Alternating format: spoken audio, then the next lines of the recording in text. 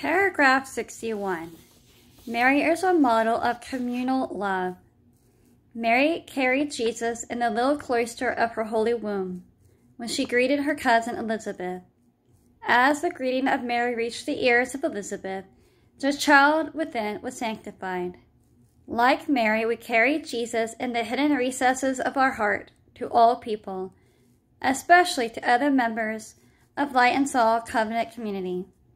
We try to emulate in our own interactions with each other this filial bond between the Blessed Virgin Mary and her cousin, St. Elizabeth.